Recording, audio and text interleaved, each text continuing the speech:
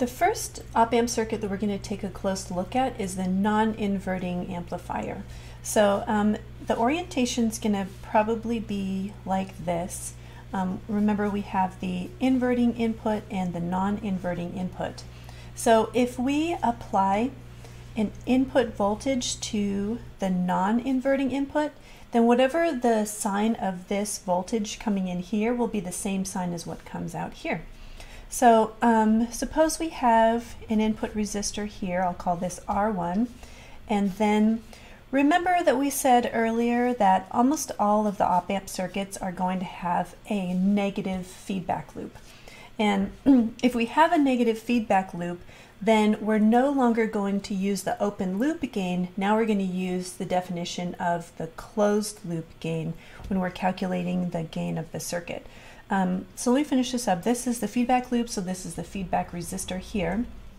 And then I'm going to just have this bottom line here be our ground wire. So I'm going to use this little ground symbol here. And then these terminals here, this is where we're going to measure our output of the amplifier. So In uh, You may or may not see in this schematic um, the plus and minus VCC to turn the op amp on, but if you do, it'll be right there.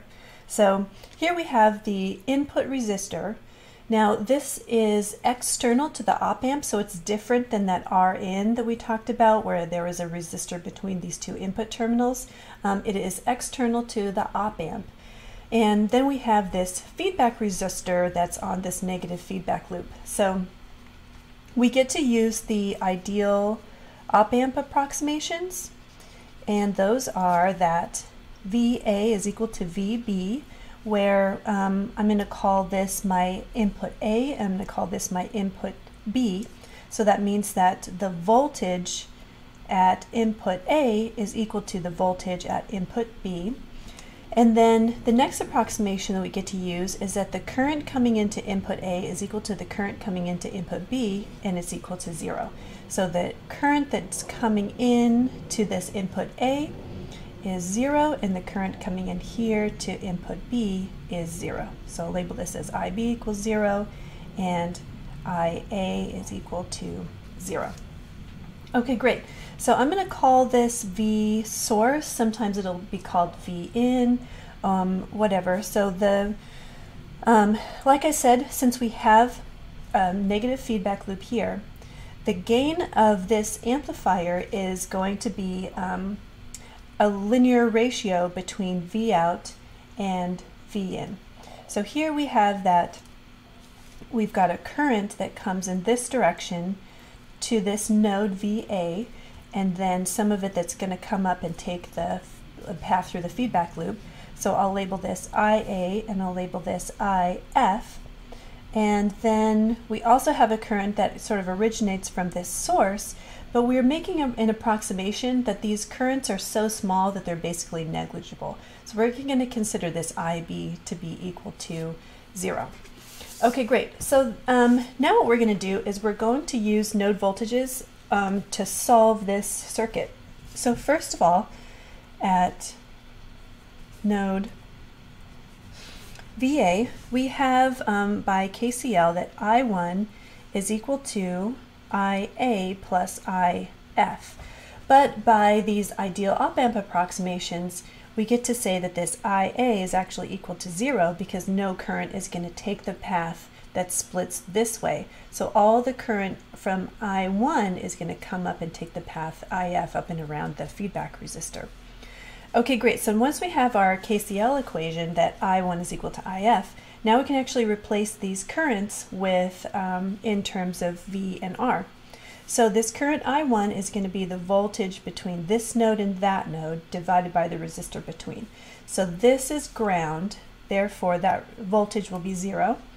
0 minus VA over the resistor between, which is R1, and that's going to be equal to IF. The equation for IF is VA minus V out divided by the resistor between. So this is VA minus V out over RF. Okay, great. And then um, let's look at, we have this input voltage that's connected directly to VB. So we know that um, by our ideal op-amp approximation that VA is equal to VB, and we have that VB is equal to V source, so this implies that VA is also equal to V source, or VIN, um, whatever it might be labeled. So I can actually replace all the VAs in my equation here with V source. And this is going to be useful for um, coming up with an equation for V out in terms of V in, which we've labeled V source here. Okay, cool. So this is going to be negative Vs over R1 is equal to Vs minus V out over Rf. Okay, so let's come up with um, an expression for V out in terms of our input voltage here. So I'm going to divide this RF to the other side. This is going to be negative Vs times RF over R1, I went ahead and put the resistance values together, so I just multiply this over here, and that's equal to Vs minus V out. So this means that V out is equal to Vs plus Vs times Rf over R1. Um, let's write it like this, 1 plus Rf over R1 this is my V out. Okay, so um, if this is my input voltage and this is my output voltage, then what is this? So this is the constant that's getting multiplied by the input to give me my output. This is an amplifier circuit, so that means this thing here is the constant that's amplifying this input circuit. So in other words, this is actually our gain.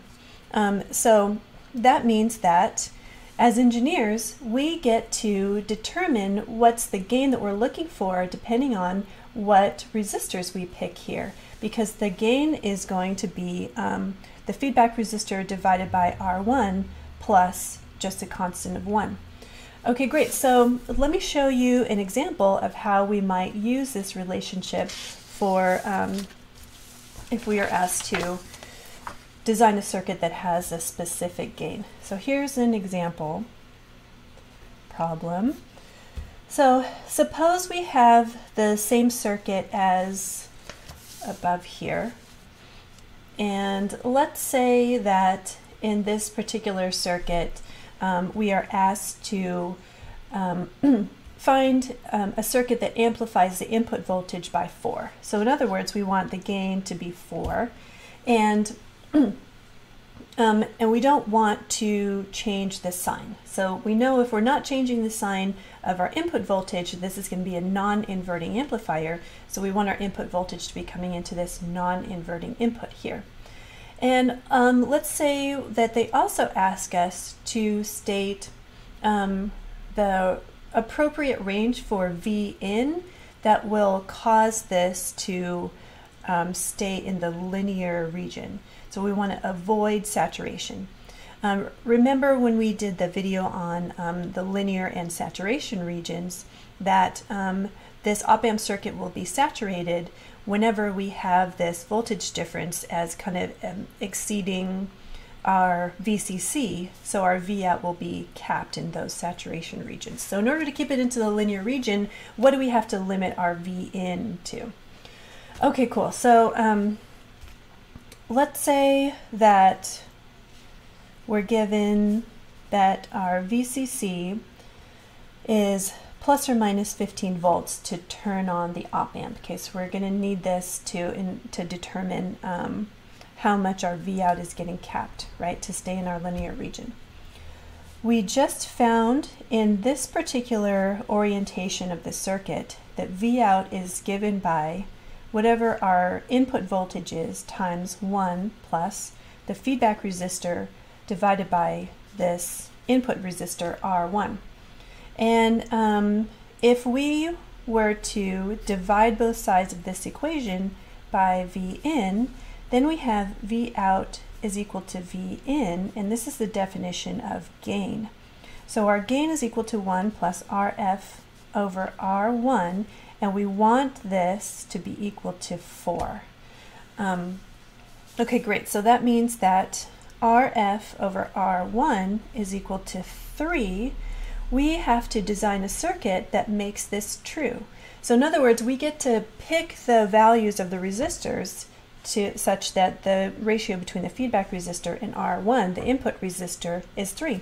So we can pick, say for example, we can let RF be 3k ohms, and we can let R1 be 1k ohms, and this would satisfy the constraint of um, a gain of 4. Okay, great. So then the next thing that we have to make sure that we um, that's all set up in our circuit is that we're going to stay in the linear region. So um, in order to stay in the linear region, we need to make sure that our V out is less than or equal to, so the absolute value of V out has to be less than or equal to VCC, right? Because this is our power supply voltage. So the output voltage that's produced by the amplification can't exceed the voltage required to turn on the op amp.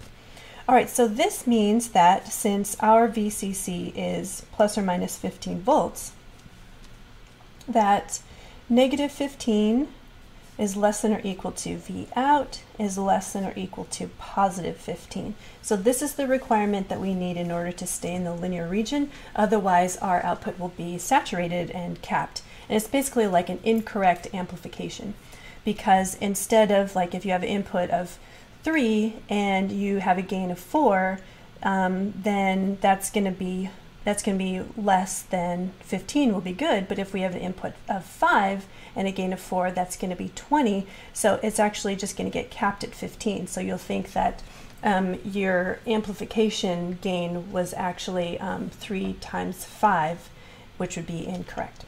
Okay, so what do we do with this? Well, we know that V out is gain times V in, right? And our gain for this circuit is 4.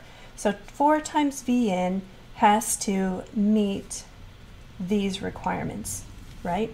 So that means that if I divide everything by 4, I need to make sure that negative 3.75 volts less than equal to V in less than equal to positive 3.75 volts. In other words, when I'm creating my amplification circuit, this here, this input voltage that I connect here, that I'm amplifying uh, by 4, it can't be larger than 3.75 volts and it can't be smaller than negative 3.75 volts. Otherwise, um, my output gets capped and I basically lose information. So um, let me know if you have questions about the non-inverting op-amp circuit and the next video we'll do the inverting op-amp circuit.